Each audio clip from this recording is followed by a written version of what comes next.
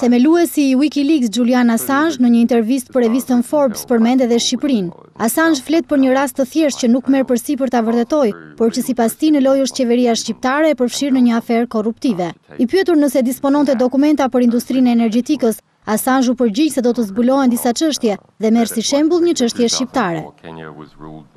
Nisi me diçka që ne e publikuam vitin e kaluar, një rast interesant me të cilin nuk u mor më askush.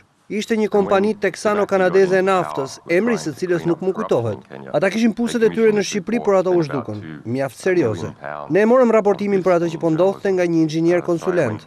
Ai na tregoi se kamionët kishin mbërritur në mes të natës dhe po bënin diçka me puset. Ata po sabotoheshin. Qeveria shqiptare ishte e përfshirë me një tjetër kompani. Ato ishin dy kompani rivale nafte, por njëra ishte pronë e shtetit dhe tjetra private. Por kur e morëm këtë informacion, nuk kishte të dhëna të tjera, dërguesi i mesazhit, emri i firmës nuk përmendej, as se kujt i përkisnin puset e naftës. Kështu që nuk e morët këtë informacion për shkak të mungesës së të dhënave kyçe?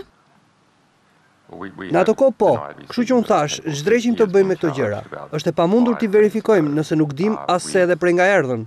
Mund të ketë qenë një kompani që përpiqej t'ia punonte tjetrës, kështu ne bëmë diçka të pazakontë, e publikuam dhe thamë, ne i kemi këto gjëra, duket sikur është shkruar nga një kompani rivale, që përpiqet të diskreditojë tjetrën, por ne s'mund ta verifikojmë këtë. Ne na nevojitet më shumë informacion. Pavarësisht nëse ishte dokument fals apo real, diçka po ndodhte. Për më tepër që një kompani po përpiqej të sabotonte tjetrën dhe kjo ishte interesante. Kështu qëndronin gjërat derisa ne morëm një letër nga një kompani konsulente energjetike që na pyeste si ta zgjidhnim këtë situatë. Ne kërkuam që së pari, ata duhej të vërtetonin se ishin pronarët. Assange sqaroi se publikimi i plotë do të zbulohet nga WikiLeaks.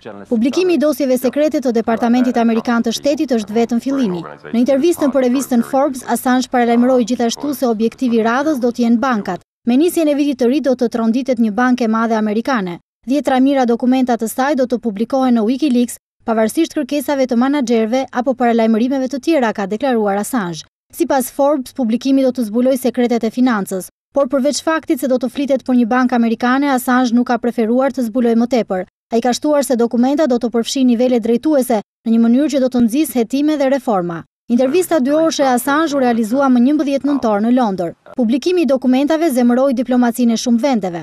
Nuk jam kundër sistemit. E njoh mjaftueshëm politikën dhe historinë për të kuptuar se tregu i lirë rrezikon të përfundojë në një situatë monopoli, nëse nuk punohet për ta mbajtur të lirë. WikiLeaks është krijuar me qëllimin për ta bërë kapitalizmin më të lirë dhe etik. Prania e Wikileaks do të thotë se është më e thjeshtë të drejtosh një biznes të pastër sesa një të paligjshëm. Për një manaxher të ndershëm është më e thjeshtë të ecë përpara nëse konkurrentët e tij të pandershëm goditen nga publikimi i të këqijave të tyre. I pyetur nëse Assange mund ta quajë veten mbështetës të tregut të lirë, ai u përgjigj pozitivisht. Për sa i përket kapitalizmit, kam dyshime, por e dua tregun e lirë. Tregu perfekt kërkon informacion perfekt, është shprehur Assange.